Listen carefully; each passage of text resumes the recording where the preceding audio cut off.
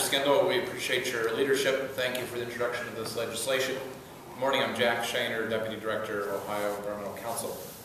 I think this is altogether an appropriate and reasonable and urgent moratorium. This does not say no forever to deep shale gas development, but it does say slow down, let's take our time, let's get the best available science, and let's get the most protective safeguards and regulations in place to guide the sensible, thoughtful, responsible development of the significant resource. As uh, Senator Skindell said, uh, hydraulic fracturing is, is really a, a new ballgame when it comes to drilling. Massive quantities of water, millions of gallons of water used per well, many, many, over 500 chemicals, many of those toxic chemicals, and a whole toxic parade of dangerous byproducts that are, can be dangerous to human health and the environment. In fact, uh, one of the sleepers is uh, air pollution. We've, we've, heard a lot about water pollution, water concerns, which are very serious, and you're going to hear a little more about. But uh, air pollution is also a very significant concern, and if we don't do this right, we could turn the Ohio Valley, eastern Ohio, into a real ozone alley.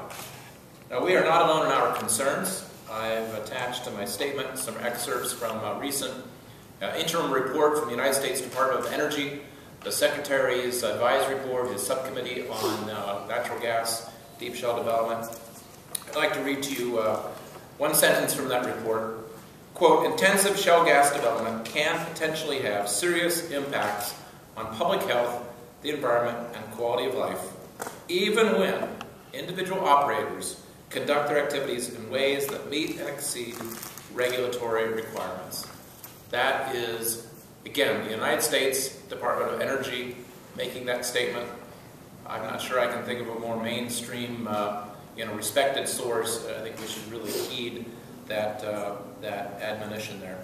Bottom line, Ohio needs protective safeguards in place, and we need them right away.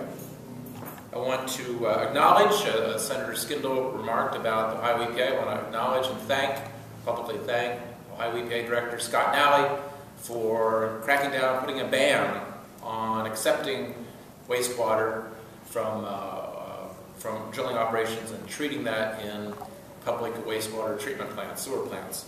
Directors put his foot down to that. Unfortunately, sadly, the previous administration had allowed that in East Liverpool, so we do thank EPA director for that. Also, I want to point out the Ohio Department of Natural Resources is currently drafting rules to implement Senate Bill 165. Senate Bill 165, we all remember, was the legislation last year that did strengthen Ohio law.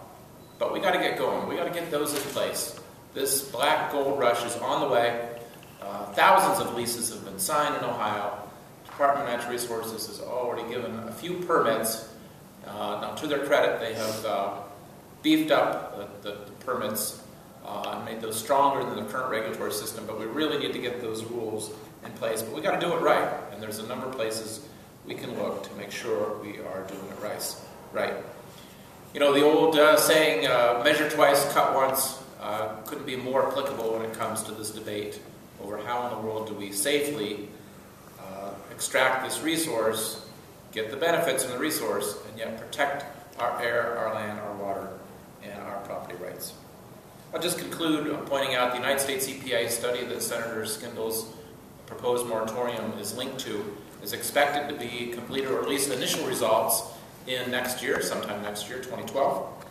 Uh, that, that report is specifically looking at what are the potential risks to groundwater and drinking water, including what impact does removing the large amounts of water needed in high pressure drilling uh, have on watersheds and aquifers, and what are the potential impacts of the chemicals used in drilling and hydrofracturing process wastewater, and fractured geology, what will that have, impacts will that have on water quality and underground drinking water supplies? So a year or two is not a long time to wait for a resource that's been underground there for millions of years. It's not going anywhere. Let's take our time. Let's do it right. Let's be safe, not sorry. And Senator Skindell, thank you again for your proposal, because it is clearly the right way to go.